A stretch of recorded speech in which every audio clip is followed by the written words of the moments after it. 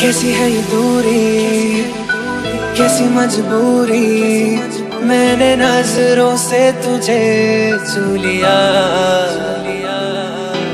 कभी तेरी खुशबू, कभी तेरी बातें बिन मांगे ये जहाँ पा लिया। तू ही दिल की रौनक, तू ही जन्मों की दौलत और कुछ ना